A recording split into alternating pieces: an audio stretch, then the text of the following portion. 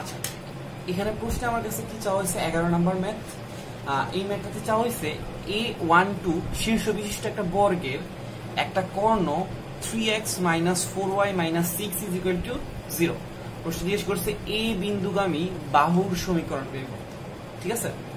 আচ্ছা এখন আমাদের এই একটা বর্গ আঁকি প্রথমে। এটা হইতেছে আমাদের ধরো বর্গ। এই বর্গের একটা শীর্ষ হইতেছে ওয়ান টু আর একটা কর্ণের সমীকরণ দেওয়া আছে। এখন কর্ণটা এইটাও হইতে পারে, এইটাও হইতে পারে। এখন কোনটা?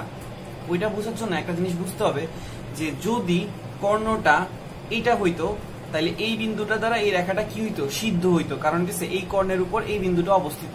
তাহলে আমি যখন সিদ্ধ করাই দেখলাম, তখন এখানে কি আসতেছে? Three into one four into two minus six তিন মাইনাস আট মাইনাস ছয়, এখানে আসতেছে মাইনাস এগারো, আর ডান সাইডে ছিল জিরো তার মানে এটা সিদ্ধ হইতেছে না। তার মানে আমরা যে এই কর্ণটা ধরতেছিলাম এইটা আসলে এই কর্ণটা না। এটা আসলে কোন কর্ণটা?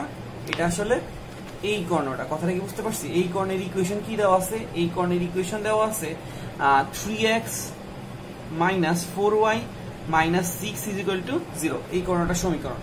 প্রশ্ন জিজ্ঞেস করছে, এই বিন্দুগামী বাহুর সমীকরণ বের করো। মানে এই বিন্দু দিয়ে যে বাহুটা গেছে, এই বাহুটা সমীকরণ বের করতে। তাহলে আমরা কীভাবে করব? আচ্ছা এখানে একটা বাহু রেখার সমীকরণ দেওয়া আছে বা ওই রেখাটা হচ্ছে কর্ণ। আর এই রেখাটা সমীকরণ চাওয়া হয়েছে এটা হচ্ছে বাহু।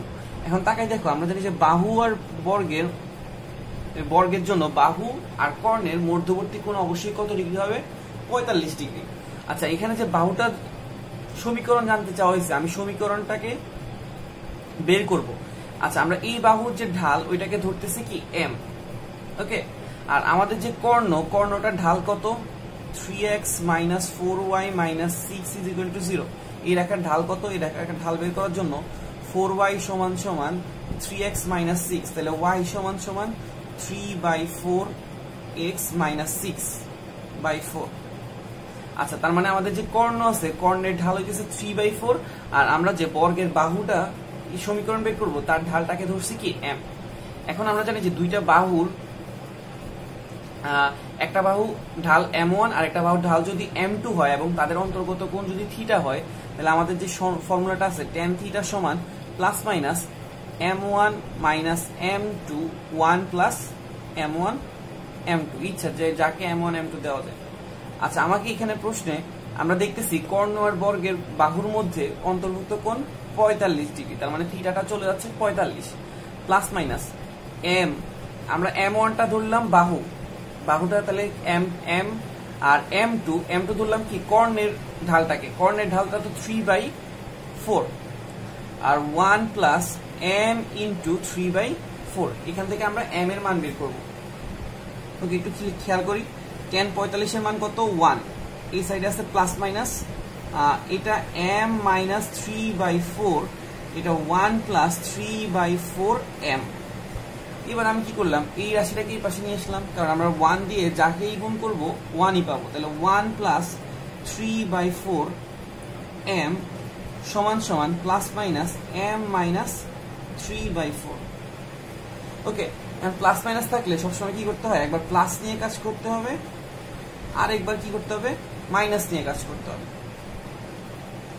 তাহলে আমি প্রথমে প্লাস নিয়ে কাজ করতেছি one plus three by four m সমান সমান m minus three by four এখান থেকে যখন আমি ক্যালকুলেশন করব ক্যালকুলেশন করলে আমাদের আসবে সেভেন বাই ফোর সমান সমান ওয়ান বাই ফোর এম তার মানে আমাদের একটা এম এর মান আসবে সেভেন ক্লিয়ার যখন প্লাস নিব, তখন আমরা যে ঢালটার মান পাবো, এটা মাই সেভেন আর যখন আমি মাইনাস নিব বা ঋণাত্মক চিহ্নটাকে নিব, তাহলে এটা আসবে one plus three by four m সমান সমান minus m plus three by four okay তাহলে এখানে আসবে সেভেন বাই ফোর এম সমান সমান মাইনাস ওয়ান বাই ফোর তার মানে ঋণাত্মক চিহ্ন নিলে আমাদের যে ঢালের মানটা আসবে, ওইটা কত? মাইনাস ওয়ান বাই সেভেন একটা আসতেছে সেভেন আর একটা আসতেছে মাইনাস ওয়ান বাই সেভেন এখন আমি বাহুটার ইকুয়েশন বের করব। আচ্ছা এখানে ঢালের মান দুইটা আসার কারণ কি? ওয়ান টু বিন্দু দিয়ে যায়, এরূপ রেখা কয়টা সম্ভব? ওয়ান টু বিন্দু শীর্ষ বিন্দু দিয়ে এরূপ রেখা কয়টা সম্ভব? দুইটা। একটা এই দিক দিয়ে আর একটা এই দিক দিয়ে। তাই আমরা কি করব?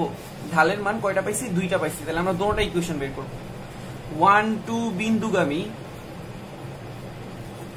ওয়ান টু বিন্দুগামী এবং সাত ঢাল বিশিষ্ট যে রেখাটা সমীকরণ, এটা হবে কি? ওয়াই মাইনাস টু সমান সমান m into x minus one তাহলে ওয়াই মাইনাস টু সমান সমান সেভেন এক্স মাইনাস সেভেন তাহলে আমরা পাইতেছি ওয়াই সমান সমান সেভেন এক্স মাইনাস ফাইভ এটা একটা বাহুর সমীকরণ।